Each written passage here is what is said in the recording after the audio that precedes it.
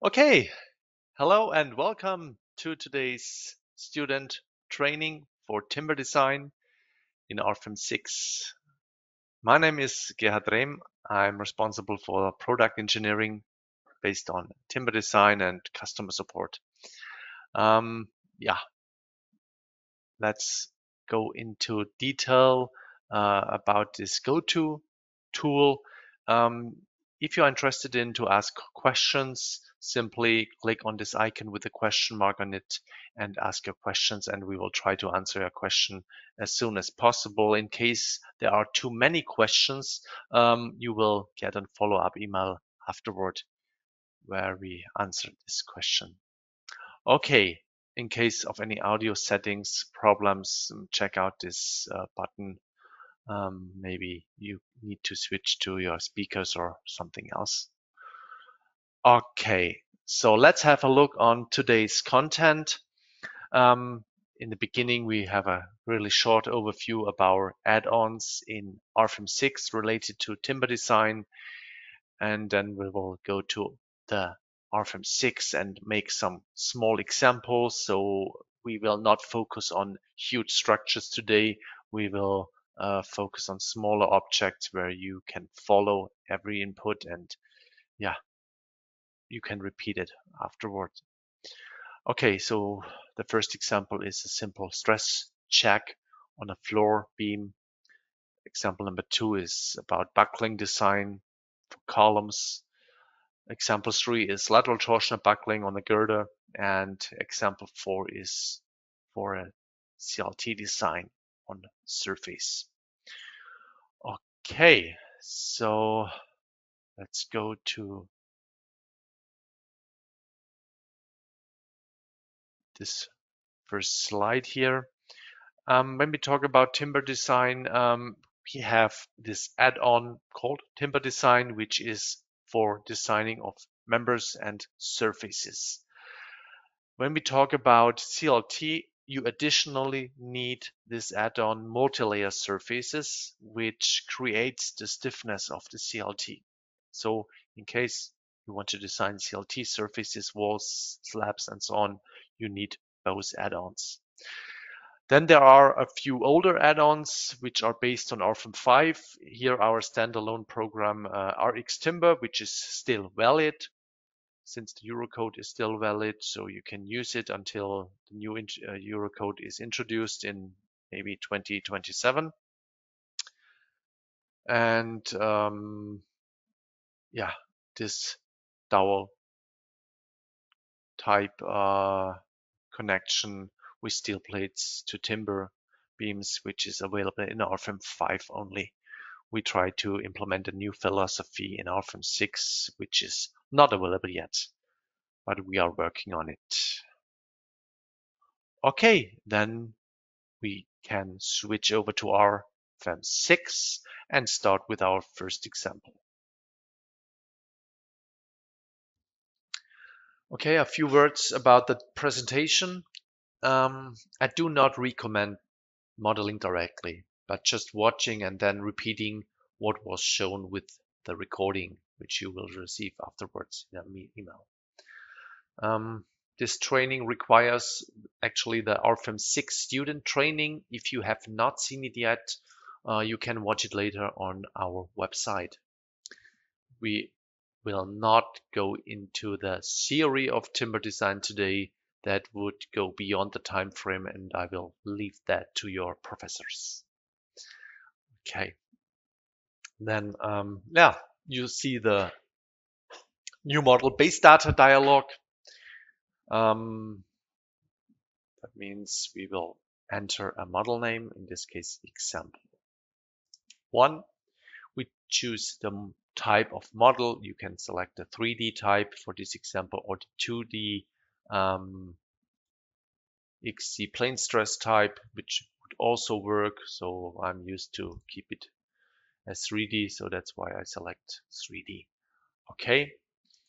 Then we go to the add-on tab. Here we can activate the timber design add-on. Here on the bottom, you will see the multi-layer surfaces add-on.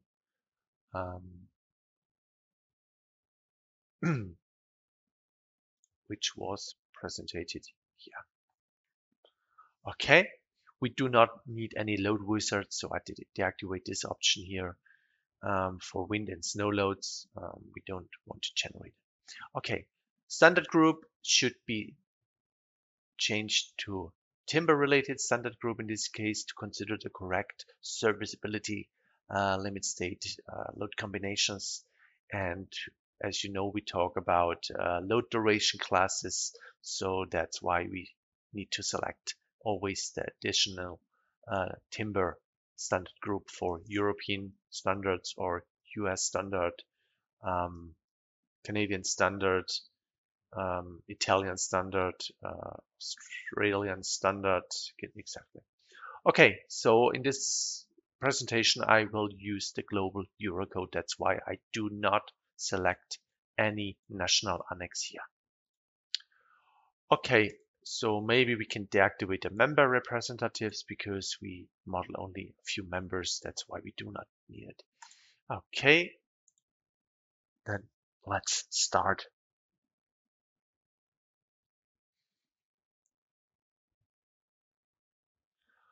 Okay, so you know about all the yeah the navigators and the icons, I guess, from this RFEM 6 student training.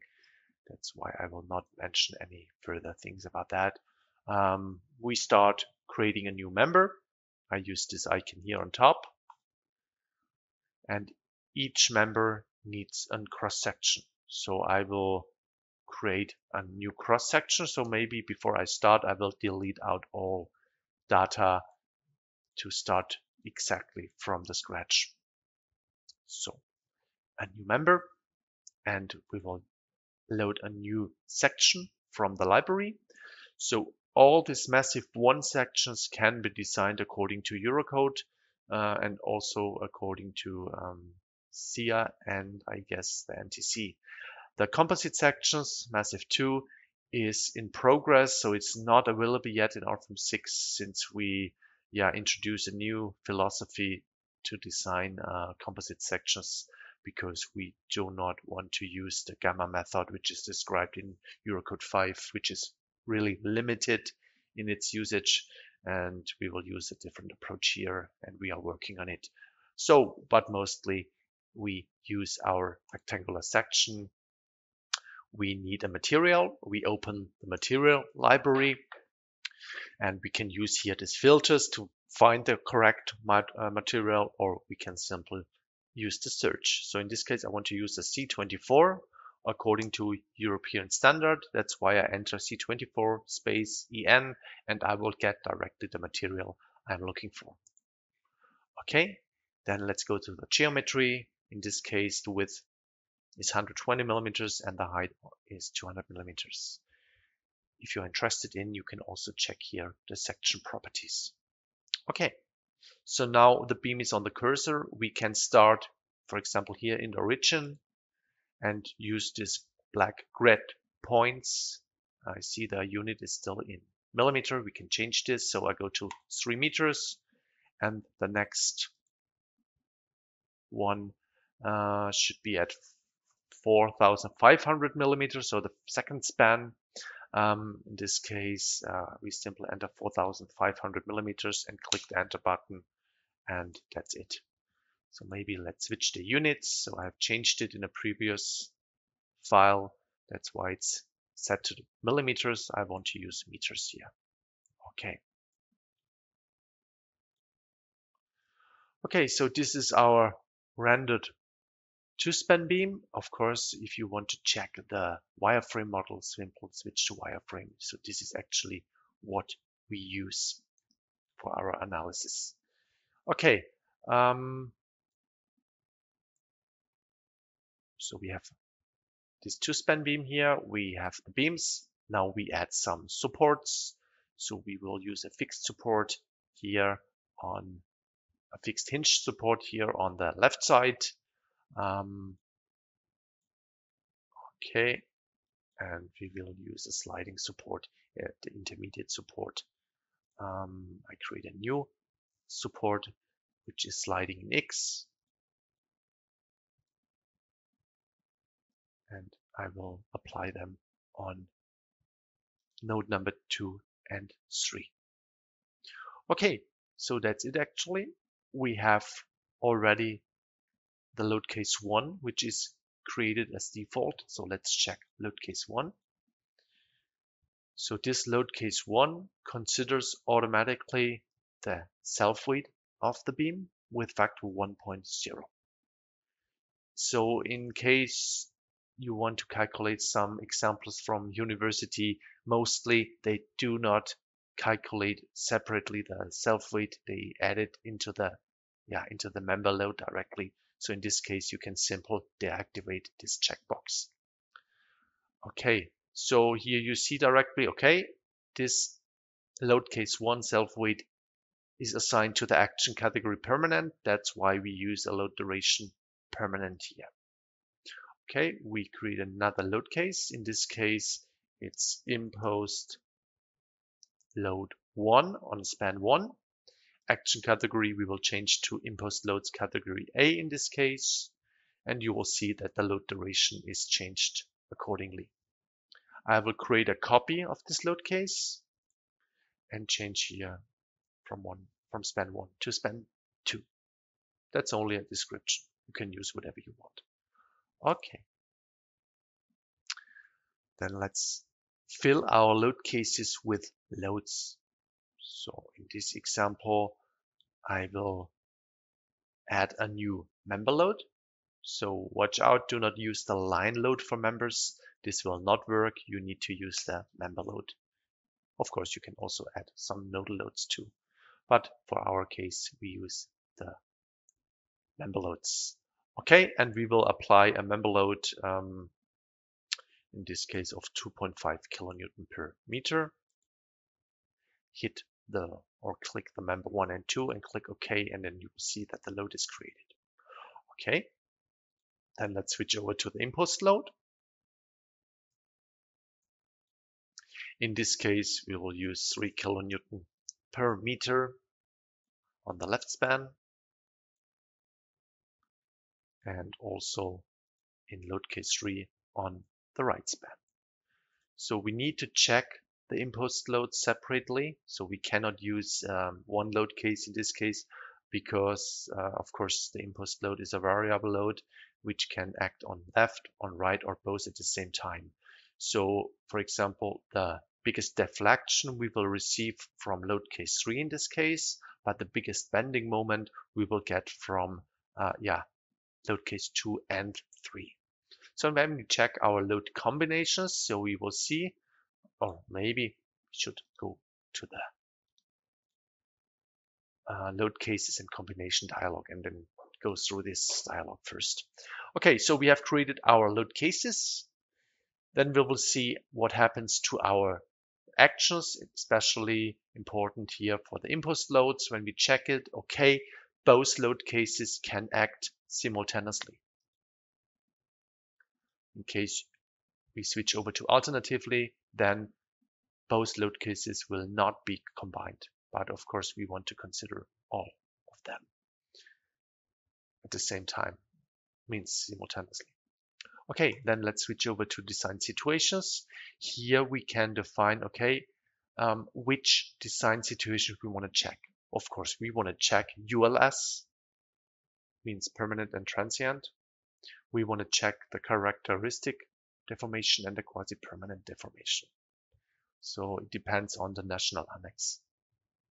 Okay, so what we can also do is we can change the combination wizard. In this case, the combination wizard is set to second order for our example, the geometrically linear analysis. So the first order is absolutely fine. Okay, then let's check our action combinations. Here we can double check which combinations will be created and the result are the load combinations. So load combination one is only 135, 1.35 times load case one Load case 2 is dead load and imposed load on the first span. Load case load combination 3 is dead load plus uh, yeah, the weight dead load plus uh, 1.5 load case 2 plus load case 3 and this one is load case 1 plus load case 3 and so on and so on. So here you see the characteristic deformation with no partial safety factors and the um, quasi-permanent combination, which includes also the psi values and the kdef value. So the kdef value is described here in this edit um, dialog for the load case classification. And here on the bottom, you see which um, value uh, is used as default 0.6. This is, I guess, for the most national annexes, the case for softwood. Um, of course, if you have different service classes or different uh, values, you can enter or you can change the, the values here. Okay, for this simplified method to consider creep. Okay, so that's it actually so far. What we can do now, we can calculate the load cases and load combinations. So I do that for the design situation one. The design situations, they includes all load combinations as an envelope. So what that means, uh, we can check it here. So what we see in the beginning, we see the deformation. So we see the deformation with the maximum and the minimum. That means, of course, the minimum deformation will become will come from that load only. It means from CO1. So when we check CO1, we should get no, not from CO1. Sorry, from uh, I guess CO2 in this case, it's the 9.5 millimeter. And the maximum one, this should come from load case, uh, load combination four, I guess. Yes. So load on the right span. Same for the bending moment, internal forces, My. So the maximum bending moment, so the 15.55 kilonewton meter will definitely come from load case three. And that's the case. Okay. Um, I don't want to go in detail because this was showed at the RFEM 6 training. You receive your deformation, the internal forces, and the support reactions. So I don't want to go in detail for now. So what we do is we focus on timber design today. That's why I switch over to the timber design add-on. Here I can define what I want to check. Yeah, I will check ULS and both SLS checks. And of course, I want to des design both uh, beams. So that's the question now. Do we want to design the beams separately or do we want to design it as one beam or one element actually? To do so, uh, we can create a member set. So when we go to members, create member set, you see we can combine the different members to a member set. And that means we do not design two members, but we can design one member set. Okay, I click OK. And when we check the member by right click the member, member edit, or simple double click the member, you will see that the design properties are now on the member.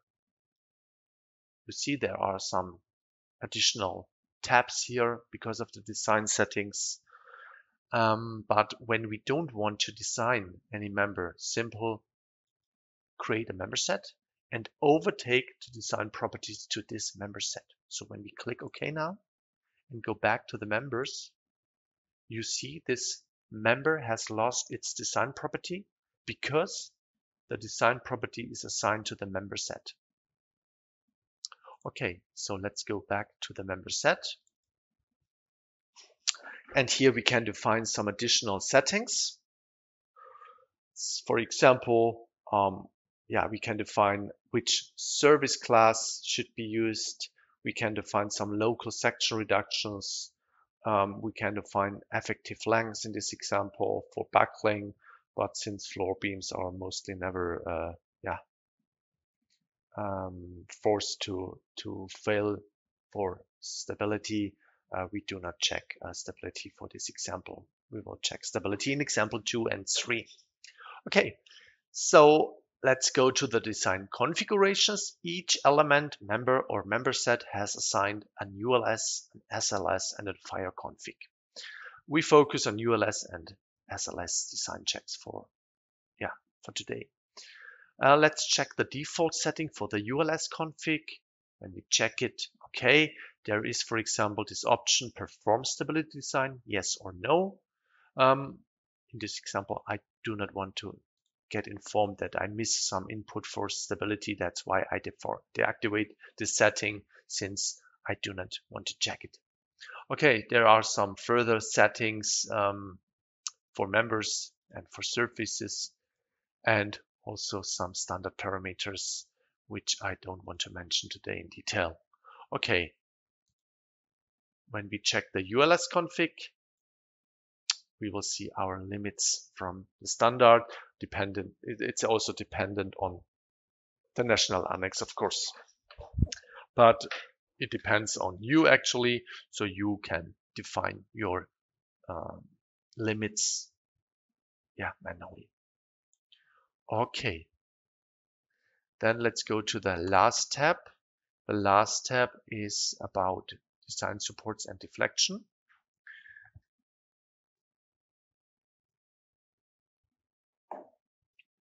Um, since we do not design the members individually, so member 1 and 2, but the member set, we will see that the reference length for the um, for the SLS design is used for 7 meter 50.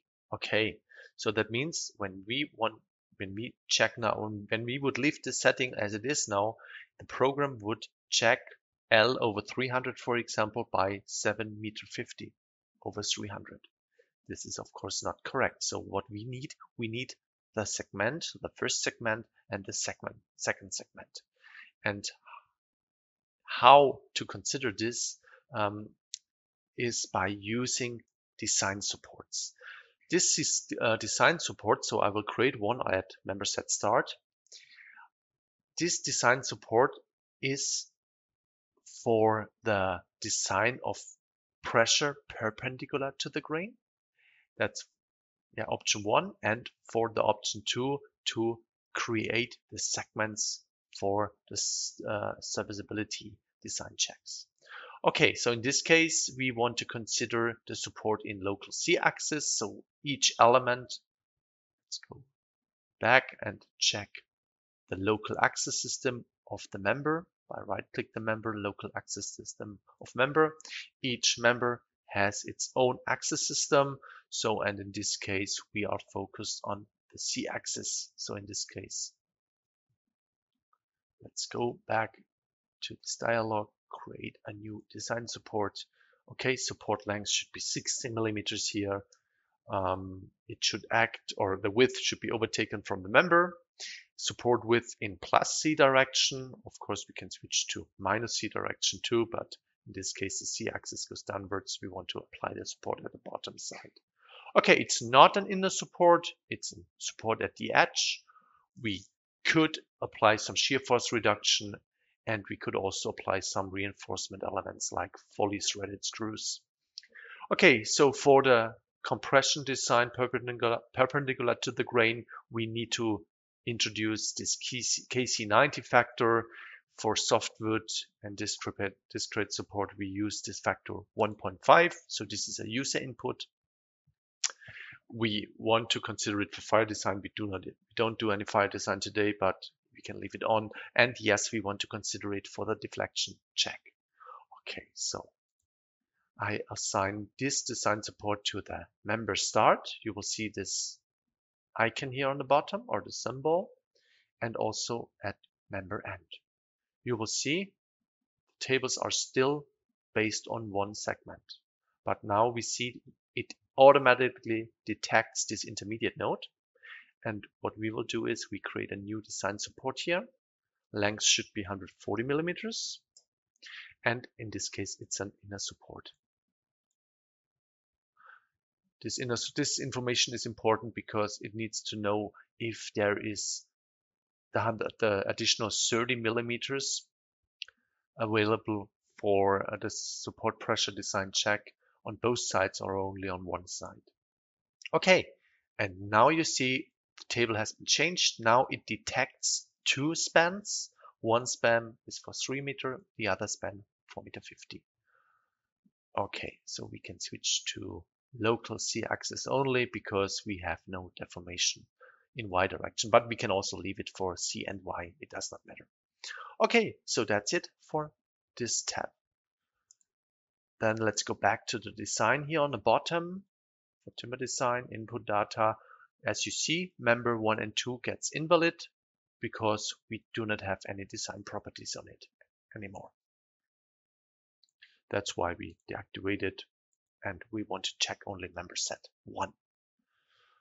Okay, so that's it for the input and we can simply start the analysis.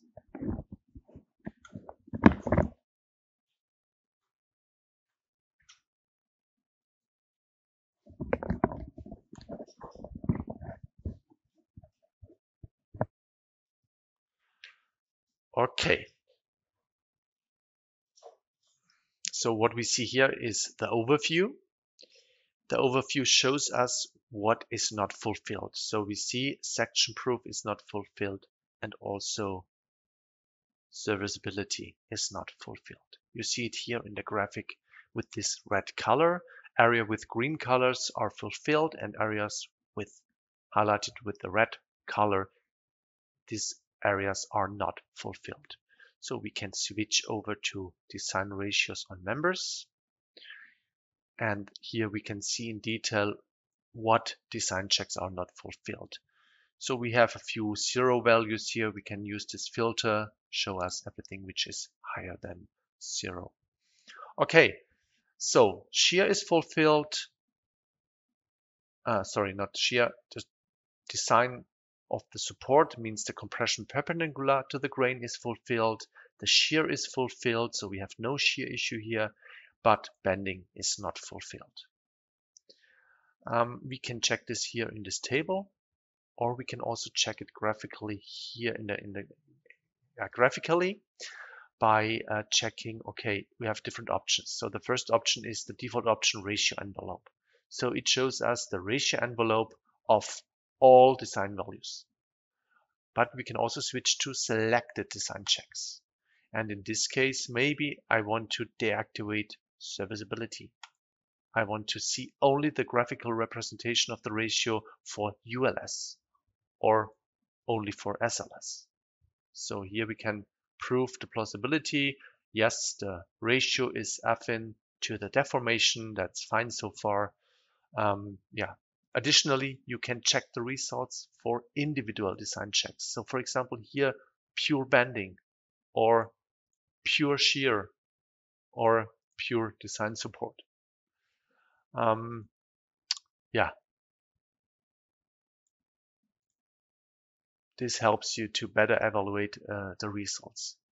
But let's go back to the table results and to the details. So in case you are interested in uh, how yeah, the design check is done, you can simple double click this design check and you will see, okay, what is done here. It's nothing special since we do not check any stability. We will check the stability later and then we will see that all equations are listed here. So we do not have a kind of black box like uh, other software. Uh, you see each intermediate value, uh, intermediate value and uh, you will you will be able to follow your hand calculations with that. Okay, so in this case, nothing special. We have our K mod dependent on the load in this case, it's CO3. CO3, of course, has included imposed load and load case one dead load. That means uh, the K-mod value for medium term is 0.8 multiplied by our 24 Newton per square millimeters divided by the partial safety factor. And you will get the allowable stress and the stress divided by the allowable stress yeah, gives you the ratio. Okay. Um, that's actually all but what of course what we can do now is we want to optimize this situation yeah um, there are two options to optimize it you can simple add and change your cross section or your material manually here or you can also um, optimize it here. For example, in this section tab dialog, here you have the option, please optimize it from the current row. For example, in this case, we want to optimize um, maybe the width. So we we have or we have 120 by 200, or maybe let's introduce uh, we can we can optimize according to parameter b and h, but let's start with uh, with the h. So and we go in uh, 20 millimeter steps, and then the program tries to uh, fulfill uh, the design checks for ULS design only.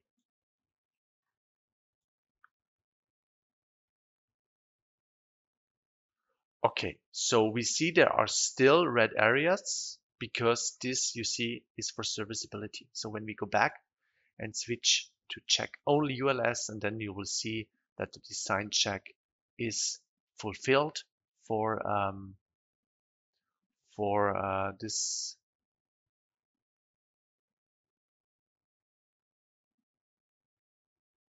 Oh, sorry. No, I did a small mistake. Yeah, I realized. Sorry. Um, yeah, the optimization, of course, the ULS uh, thing was fulfilled before, I guess. That's why we don't see any uh, any any change here. Um, the problem is only that we cannot optimize according to SLS uh, because the problem is 120 by 300. No, sorry, it's all is good. Let's check the design ratio. Yeah, it's good, it's good. Sorry. So when we check the design check again, it was optimized 120 by 300 in this case. Um, okay, so I'm wondering why we cannot use 120 by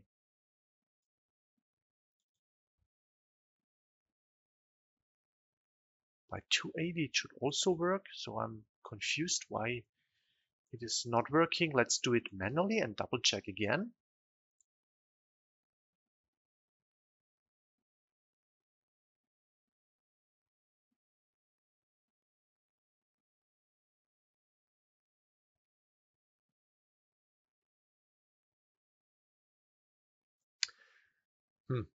Strange. It works with 280 as well. Let's try it again. Maybe I, I have overseen something. Sorry for that. So we will optimize the head. We will start with 200 millimeter and go to 300 millimeter in steps of 20 millimeters. So we have all the sections available for optimization. And now let's recalculate. Uh, sorry, uh, that was my problem. We need to calculate timber design again. Sorry for that. Small mistake. Okay, now we see the maximum ratio is with 0.9 and when we check design ratio by uh, no when we check the input data again then we will see okay 120 by 230 240 is used yeah so that's fine it works as expected. Sorry, I forgot to calculate the results again. Um, yeah, when we add the uh, when we add the serviceability design check, uh, we have all we have. Sorry, this one was 200 millimeters default. Sorry again. All right, calculate timber design again.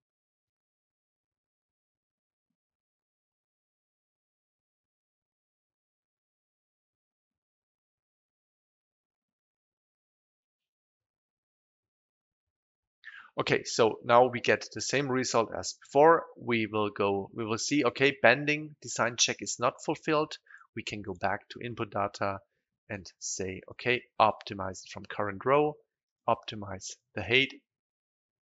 Um, we start by 200 and the maximum should be 300 in 20 millimeter steps. So that's it. Click OK, and then we can calculate the result again. Now we see that design ratio is now fulfilled for ULS, but not for SLS. So what we need to do is we need to override this section. So simple right click, use all optimized sections in model. Then we will see the section will be overwritten. And when we check it again, uh, then we will see the real deformation with the real cross section. So this, yeah, process has to be done manually. Okay, so let's check max of all design checks. Perfect. Now we have optimized it, uh, yeah, to 95% ratio, which is fine. Okay, so this is our first example. Um, yeah, let's switch back to our PowerPoint slides and we will continue with our second example, the flexural buckling. Okay, I will create a new file here. So in this case, model name is example 2 and add-ons we will activate again the timber design add-on. We leave the standard and we can deactivate the member representatives. Okay i will not go in detail um, like in the first example. Um, so i will skip a few things and i will not mention all settings what i will do um, or I will not describe in detail every setting what I will do. Okay, so let's switch again, standard group timber. And now we talk about buckling design. So that means when we consider or when we use an, a column, of course, this column normally becomes high normal force. And yeah, it can happen that not, or it will happen that not the stress on the member is design giving or controlling, but this column can uh, buckle out of the plane. Depends on the weak or strong axis, of course. So for this example, we will use a column with a length of 8 meter. So section 120 by 240, this is fine so far. So the length is 4 meter and 4 meter. We will have so the x, uh, the we will have um, the weak axis, which is uh, about uh, z axis, and the strong axis, which is about y axis. And about y axis, about the strong axis, we will have no restraint considered, and about z axis, we will have considered um, um, a restraint here in y direction. Okay, so we need some supports on the bottom. Oops, sorry. On the bottom. And a support on top, on column head. So we should yeah, consider the support like this so that the normal force or the force can go into the beam. Okay, here we go. So we will define some nodal load. I use the nodal load here, 35 kilonewton dead load. Okay. And let's create a new load case for snow load. Snow. And we will switch over to this category smaller than 1000 meters, for example. It detects short term as load duration. And when we check our load combinations, Okay, let's go back to design situations. We do not want to check serviceability in this case since we have only gravity loads. Um, we use consider only ULS. That means, yeah, dead load and dead load plus plus snow according to, yeah, in this case, first order analysis is okay since we do um, only an equivalent member design. So the Eurocode 5, for example, describes um, two methods, so the equivalent member design and an approach with second order analysis and imperfections, but uh, we will not do this approach today. We focus on the equivalent member design. Okay, that's actually it. We will fill load case 2 snow load and we will apply 20 kilonewton of snow load here on top. I guess I don't have to say anything about um, about the, um, the results. It's clear. Um, let me check our design situation. We will get the envelope of load case one, load combination one and load combination two. Um, so we are interested, of course, in the normal force. Um, you see the top and bottom value differs a bit because of the self-weight of the of the beam.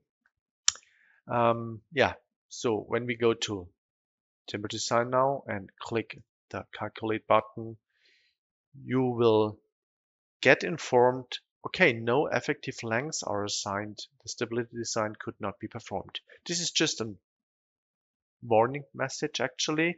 If you are fine with that because you know this beam will not fail for buckling, then you can ignore it. But of course, in our case, it's clear this slender beam will definitely buckle out of plane, uh, but we need to consider this fact. So when we check the results, we get only one design check, which is a pure section proof, means force by the area divided by our strength. That's all.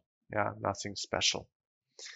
Um, okay, so, but what we want to do is we want to do stability uh, design check according to equivalent member method. And in this case, again, we will create a member set. Oh, sorry, two members, create member set. We want to overtake the design properties again. And here we define design types. In this case, we need effective lengths. Um, here in this tab, we say, okay, we want to check flexural buckling about Y and Z axis. Lateral torsional buckling is not an issue. This will be in example number three. You can leave it on or you can deactivate the checkbox. It doesn't matter since we have no bending moment on these beams.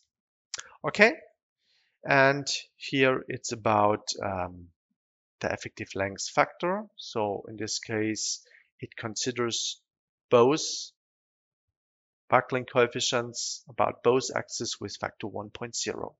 But as you remember, I said I want to consider a lateral restrain in y direction on node number two. And to do so, um, when we check the absolute values, it's 8 meters, of course, for buckling about y-axis. We want to consider 8 meters as buckling length for this Euler, uh, Euler case 2.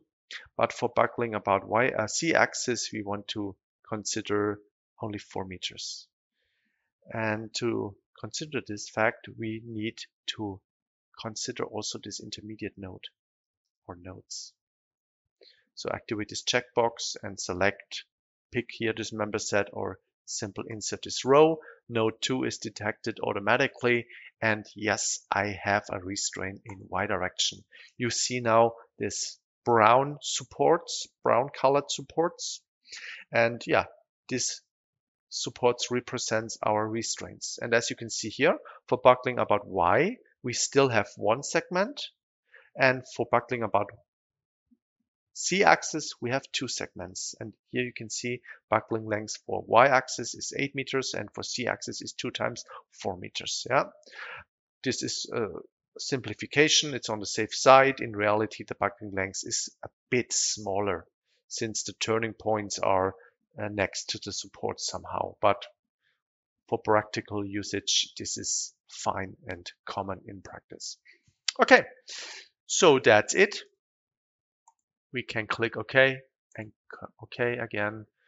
And we can also activate this design support in RFEM directly. So we can check them here also. So maybe it's worth to de deactivate the, the real supports, so the nodal supports, and then you see directly, okay, which effective length factor is used or which length is used for C, V axis, Y, or U axis. It helps you to see how you have to find your bracing or your lateral restraints. Okay, so that's actually it. We can start the analysis again. And we will get this warning message again because I did not deactivate the members. I can ignore it, but I want to do it proper. That's why I de deactivated. And then we'll see we get this cross-section design check. Yeah. And additionally, we get this buckling design check. So let's double check this buckling design check because now we see, all these equations from the standard. So first we start with the slenderness. Based on the slenderness, we will get the, the ratio for the slenderness, the relative slenderness. And yeah, with the slenderness, according to the Eurocode, considering imperfections, we calculate this reduction factors Kc. So it's actually nothing else than reducing the cross-section section proof design check by this Kc factor, in this case 20, 0.23. So that means when I multiply this ratio 0.81, 0.801 by 0.23, I get exactly this ratio of 18% or 19%. Okay, so you're able to follow each um, yeah, each intermediate value so you can compare it with the hand calculation. That should help a lot um, by proving the results. Okay, yeah, that's actually it for the buckling design check. Um, and we can switch over to the next small example.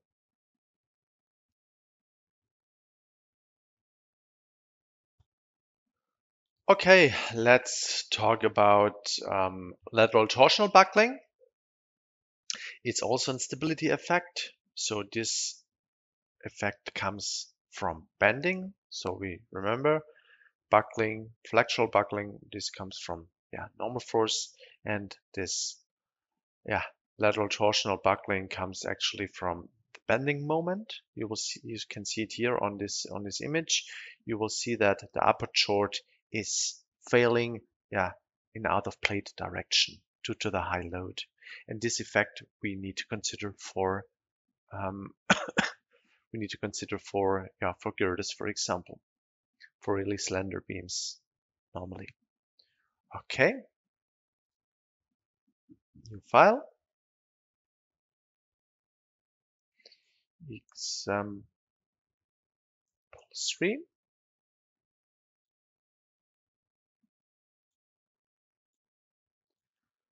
timber standard. We do not need representatives. Okay.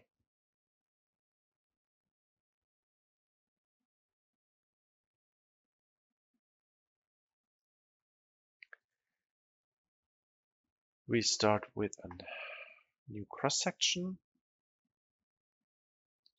In this case, 160 millimeters by 1600 millimeters.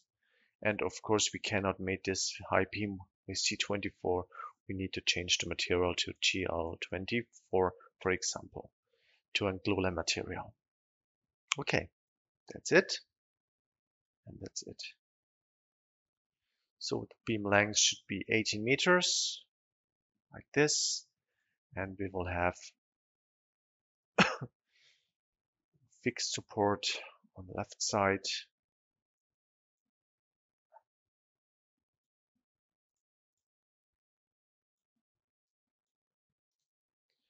and then sliding support on the right side. Of course, we could also use the fixed one here because we do not have any axial loads. So therefore it does not matter. We have no normal force here. Um, okay, like this. Okay, with the slider here, we can increase the size of the supports. Yeah, and we will check everything with that load. So we will not add any uh, further load cases since you know um, when you do timber design, it's uh, the ratio is always dependent on the load duration class. And in case of high self weight and for example, low snow, then snow is not controlling, but pure self weight. So we will not add further loads. So I will add a load here. Um, for example, uh, I have no idea. Let's start with 8 kilonewton per meter on this uh, on this girder and uh, let's see what's happening. Of course, the same when we run the analysis now, we will realize uh, we will get this warning message. Hey, you have no not defined any uh, effective lengths. No stability is checked. And of course, we want to check stability because when we check uh, yeah, we check ULS and SLS. So you will see ULS design check section proof is, uh, yeah, is 63%. So actually it's good, but of course we need to know what is happening with this upper aperture in this example. Yeah, so that's why we need to define an effective length here.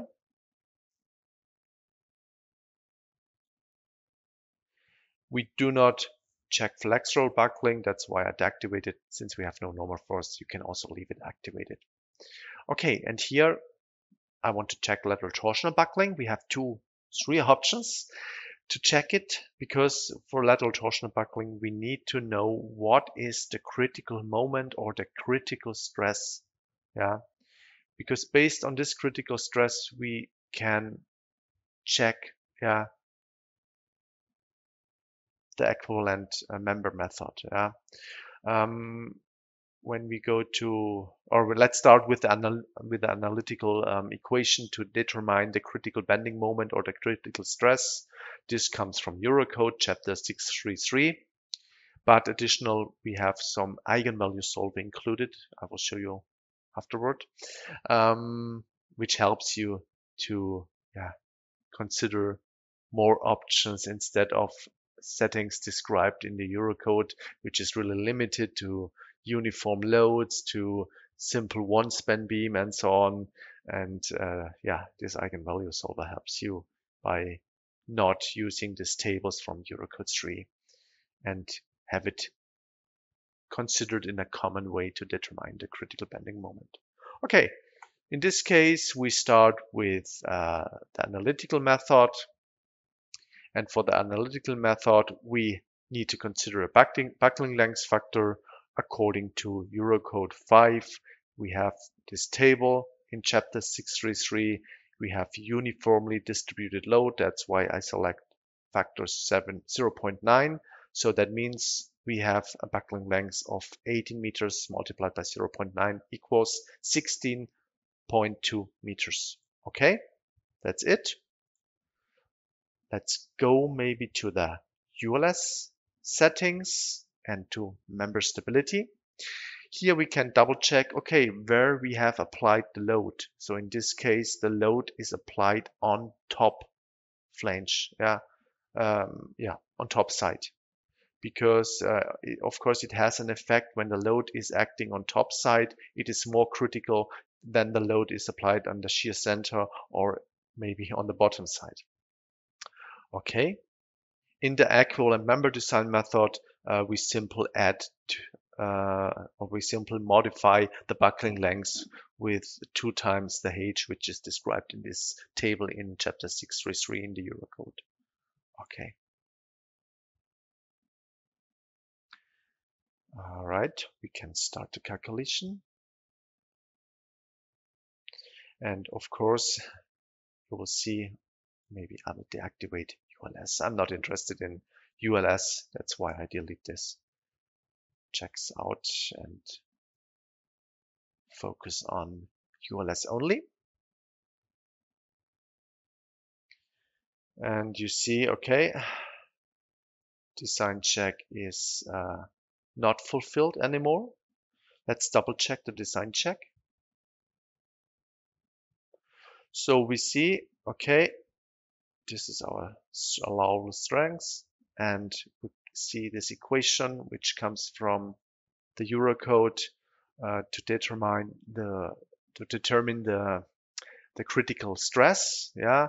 So we have some uh, factors here uh, some some stiffness the percentage quantile values for A modulus and shear modulus torsional constant or torsional um, yeah constant and the buckling length. So we have 18 meters beam length multiplied by the 0.9 was 16.2 plus since the load is applied on the top side plus 2 times 1.6 meters equals 19.4 meters. Yeah, we calculate again slenderness and due to the approach of the Eurocode, we will get this reduction factor. So we modify or we multiply our stress design check, in this case the 63 we multiply in this case uh, 0.63 uh, we, in this case, we need to divide it. 0.63 divided by 0.24 equals 2.62, uh, 2.65. Yeah, and this is exactly what we get. So that means without any restraint, we will not get a fulfilled design check. And in this example, of course, you mostly never have any 18 meter long beam with any restraint. Normally there's some bracing here at, uh, at, uh, at the other sides uh, and some beams added to this beam which supports it. Yeah, and this effect we want to consider. Um, maybe we will do the same first with the eigenvalue solver. Uh, I can maybe directly create a copy create a copy including the load. And for this beam, I will switch over to the eigenvalue solver. I create a new effective length where I check LTB by using the eigenvalue solver. Okay. So now we have two beams. One beam is checked with the analytical approach. The second one is considered by the eigenvalue approach. Okay, let's check the results. They should be quite similar, should not so different differ so much. So in this case, we have 2.46 compared to 265. Uh, the result is the effective length here, which was considered on the uh, on the safe side. So normally the buckling length is a bit smaller, but the Eurocode 5 does not uh, uh, yeah, uses simplifications. It's not exactly factor 0.9, but in reality it should be factor 0.885, for example. And also by adding two times the beam height is not perfectly correct. That's why we have different approach. If you would use the German approach from the German annex, um, you would get yeah, you would get a smaller buckling length and then this one should be uh, nearly or should be the same. Yeah.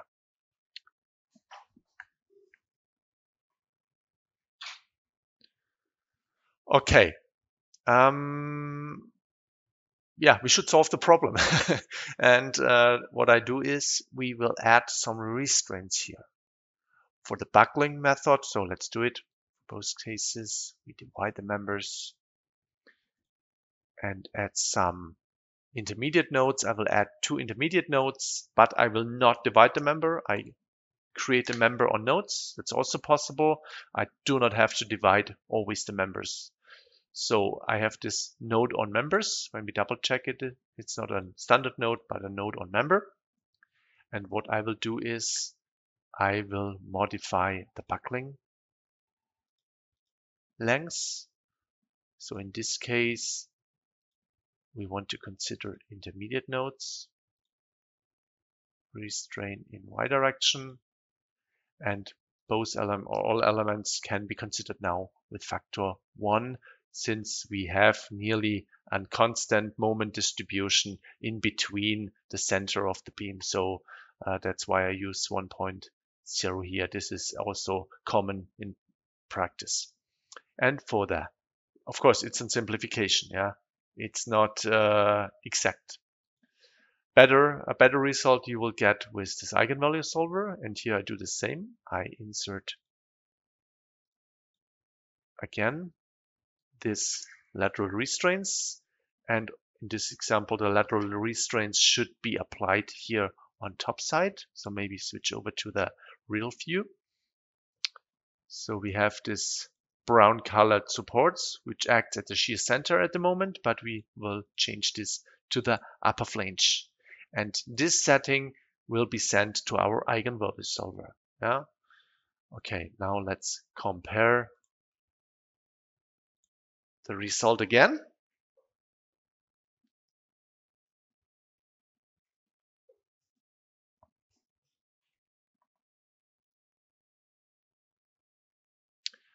Okay, and you will see that, yeah, the eigenvalue solver shows us a result which is fine, but yeah, not the um, not the um, equivalent member design method with by using this analytical equation. Yeah, this approach is too much on the safe side. We should use lower, um, uh, we should use um, smaller buckling lengths in this case. So let's double check it.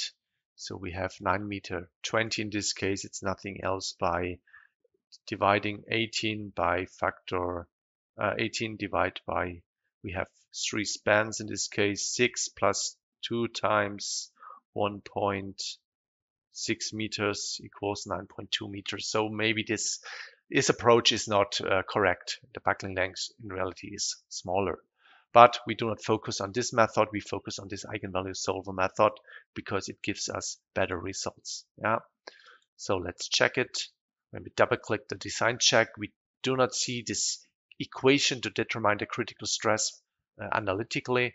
Uh, we do it with this eigenvalue solver. And from the eigenvalue solver, we receive this alpha critical factor. Yeah. And multiplied this critical factor by the bending moment from this load combination, um, we will get our critical bending moment and we can calculate our critical stress accordingly. Okay. Um, yeah, that's it so far. Maybe additional info. You can see here this additional results, mode shapes. So when you see it, this is the mode shape which is considered maybe we can switch over to the colored distribution. And here you can perfectly see how this upper flange is failing yeah, out of the plane. You'll see these areas here are restrained. We will have no deformations here at this location on the bot, top chord. And yeah, and this is, uh, in my opinion, the best way to consider uh, these buckling effects. Of course, if it's clear, if it's a one-span beam with uh, simple restraints and so on, of course, the analytical equation gives good results as well and can be used. Uh, but in more complex systems, I recommend to use this eigenvalue solver to detect this critical bending moment or stress. Okay, then, uh, yeah, that's it so far and we will switch over to our last example. So we are leaving the beam design, we switch over to surface design.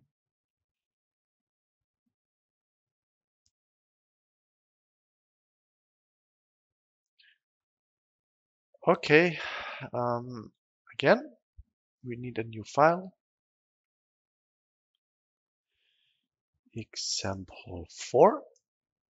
And here for add-ons, we activate this multi-layer add-on. We activate Timber Design. We switch over to the Timber standard, and that's it. We can create this file. And now you should know that CLT design in RFEM is not based on member design, but on surface design. It brings you yeah, many advantages um, such as individual shapes. You can consider openings in the CLT panel and so on. Okay, but today we will do a simple CLT slab, one meter by eight meters.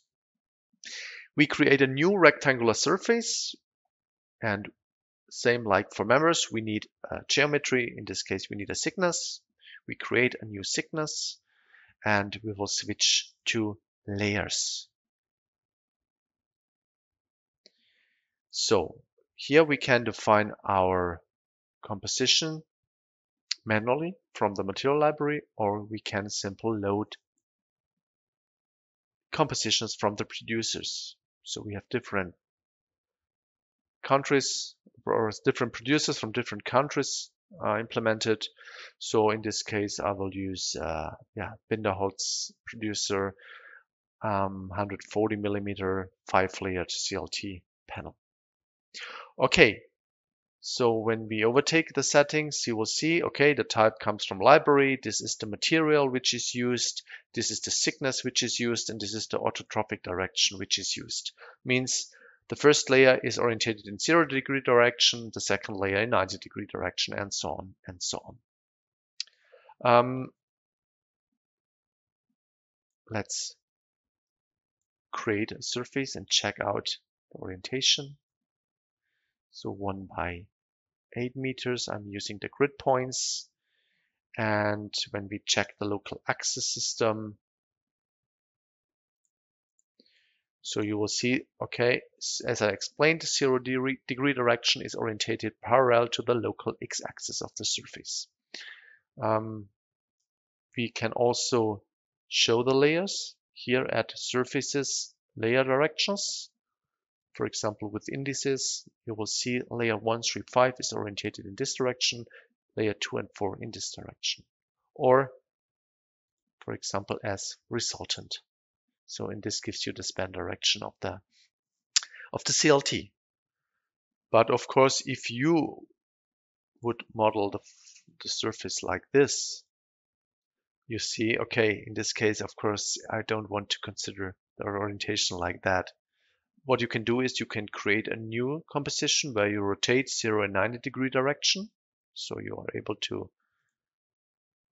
go inside here, create a copy, and then change this to uh, 90, 0, 90, 0, and so on. But I don't want to do it. It's much smarter to rotate the specific axis of the surface by, for example, 90 degree. Okay. All right. This is how you can control the orientation of your CLT. Okay, I will add the supports to the structure. In this case, we use simple uh, pin supports. So maybe we can reduce this to see Okay, it's not a nodal support, it's a line support. It supports the whole line here.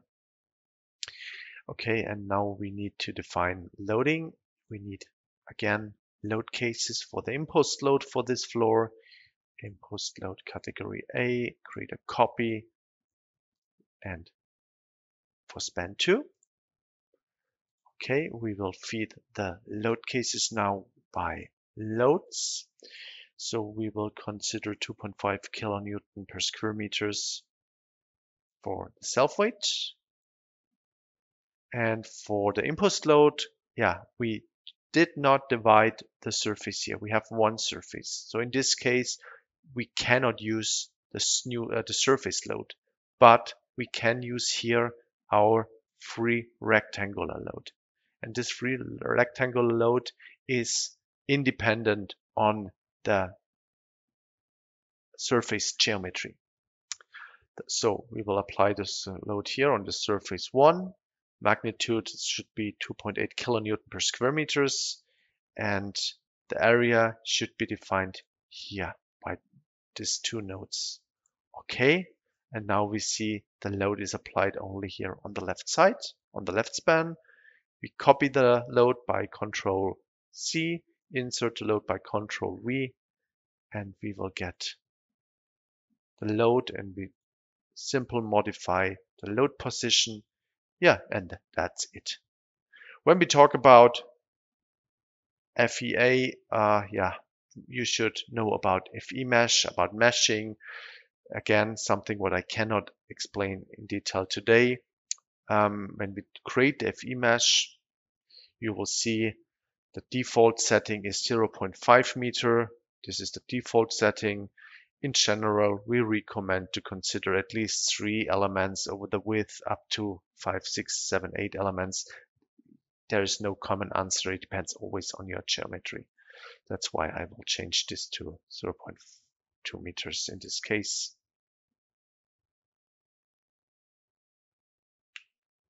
Okay, so of course, consider the fact that the finer the mesh, the longer the calculation takes. Yeah, uh, for bigger structures, please, uh, yeah, think about what mesh size you use. You can re redefine locally as well, so it's not about the global setting always, but maybe simple uh, refine only specific surfaces. Double click the surface mesh refinement. You can activate it here and create a mesh refinement for specific surface for specific lines yeah or for specific uh, nodes Okay, so that's it so far.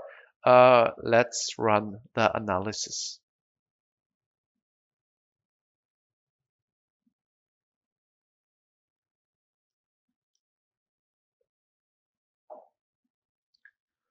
Okay, so let's check top view. Um, and you will see here there are some really small values we are not interested in. That's why I define a filter, define, enter 0.01. Please show everything which is higher than 0.01. And what we see is we get shear in YZ plane, which is our um, rolling shear. We check our transversal shear in XZ plane. We check the bending and we check the deformation for characteristic and for quasi-permanent. Additionally, we can check it again here with our uh, yeah, with our ratio envelope. So if you are interested in ratio envelope, keep the setting and here you can define your own settings. So maybe only ULS or only SLS or only specific uh, design check, only specific layer site, only specific layer material. Or you can deactivate the ratio envelope and then you have only these checkboxes where you can check only one results. Okay, I'm not interested in this. I'm interested in the ratio envelope here.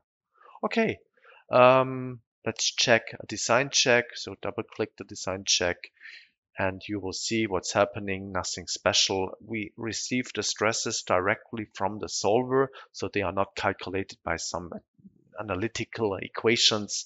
So they come directly from our solver um, and we compare our stresses from each layer, from each layer side uh, to the limit stress.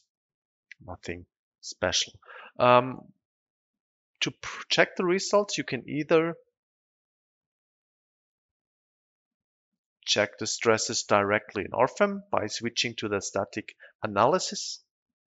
Here you can, for example, say, okay, I want to consider layer side top and let's check, for example, elastic stress component bending on top side and you will see the stress component uh, 5.3, 5.4 Newton per square millimeters. Yeah.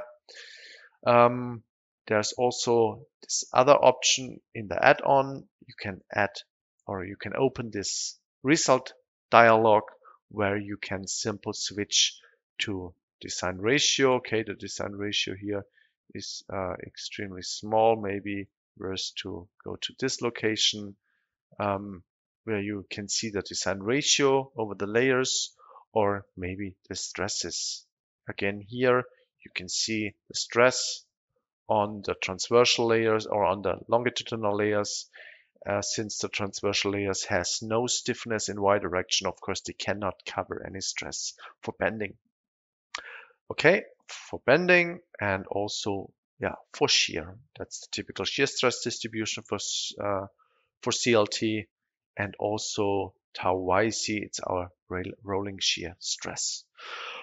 Okay, so this is how you can evaluate the results for CLT. Um, of course, there would be much more to say, but uh, time is running really quick already, um, and the hour is already over. Uh, yeah, I will leave it. Uh, I will leave this for now. And um, of course, there are much more things to talk about. I will um, yeah, I will forward you to our webinars on our website. So uh, when you when you go to our website at dlubal.com, you will find um, many information here at our support tab. If you have any question, let's uh, yeah feel free to check out this knowledge base or this frequently frequently asked questions. There are a lot of many, uh, there are many information inside.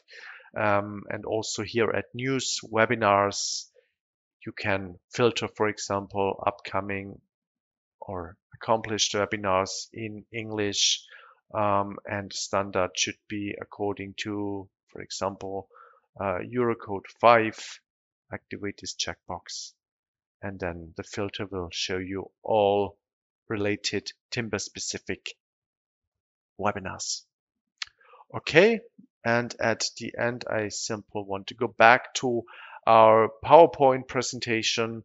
Um, and I will forward you. I want to, yeah, show you this this slide about our, uh, yeah, about the career page. So in case you are interested to work for Dlubal um, as a student, work student, or as uh, after your university, feel free to check if there is some space. I'm sure there is some space, so feel free to to visit this page and maybe we will see us soon.